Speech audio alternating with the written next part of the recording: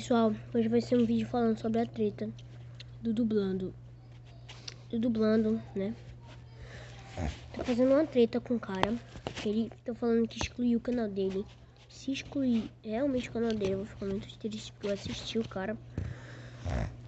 Beleza, pô. O cara tava mentindo, mas o cara só. Ele, ele mentiu. Todo mundo erra, pessoal. Todo mundo erra. O Felipe Neto já mentiu. Lucas Neto, Rezende Evil. Um monte de gente já mentiu, gente. Aí quando o cara mente, você fica botando em cima do cara, pô. Eu tô. Eu queria que o canal dele não parasse. Sinceramente, eu tô dando carta aberta a todos vocês que estão criticando o cara. É. Eu, vocês são um lixo. Um lixo. Que não vai me criticar em vez de criticar o cara? Bah, bah merda.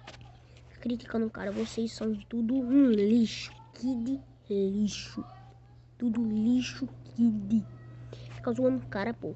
Deixa o cara, ele mentiu, mas beleza, ele só mentiu. Todo mundo mente. Vocês tudo que fica xingando o cara é tudo lixo, kid. Lixo, kid. Não tem como nem provar. Como? Cadê a prova que, que o canal da Luana Alves é dele? Cadê a prova? Eu, não, eu acho que não deveria fazer isso com o cara. Acho que deveria dar uma segunda chance pro cara. Ele deveria criar outro canal. É isso que eu acho.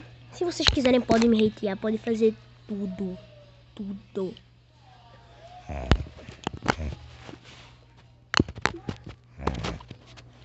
Só que agora eu tô muito indignado com vocês. O cara perdeu o canal do cara. A única fonte de renda que o cara tinha. Perdeu. Por causa de tu. Tu, seu que de lixo. Tu. Pare tu. Imagine, alguém faz isso com teu pai, teu pai dá uma mentira no trabalho dele. Vamos supor, teu pai fala que tá. É. Tá. Vamos supor, teu pai fala que tá na miséria, tá um monte de coisa. Tá mendigo. Aí o povo descobre que não é. Aí tu quer que o povo é, tire ele do trabalho. Exclua ele do trabalho. Demita ele. A única fonte de renda que ele tem. Vocês querem? Não quer, né? Ou a mãe de vocês? Imagina como deve ter sido pro cara. Apagar o canal do cara. Única fonte de renda que o cara tinha. Cara mó. Mó legal, pô. Só agora que teve essa treta. Mas é isso, né? Vocês são assim. Seus